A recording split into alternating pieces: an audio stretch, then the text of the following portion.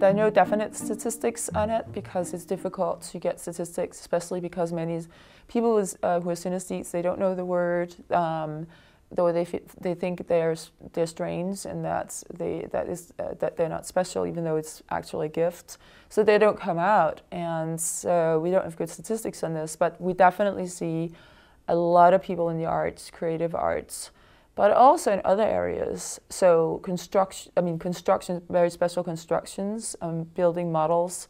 And you can take um, Jason uh, fractal drawing uh, to be both um, artistic, but also in some sense building a model. And that's something that, that's uh, common as well. And then, of course, the mathematics, um, mathematical abilities. But interestingly, these all um, for the most part, right brain activities. Even the math abilities, or the math abilities actually are a little bit on, on both sides.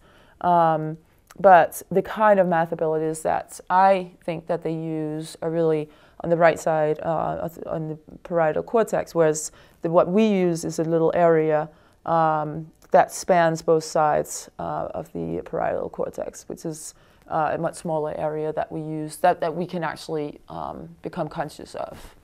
So yeah, so they so people um, so yeah, I wouldn't say that they just uh, enter creative arts. They they become they enter um, areas that are that are amazing. I mean, they become amazing in some area where there are other people who are great, but maybe not amazing.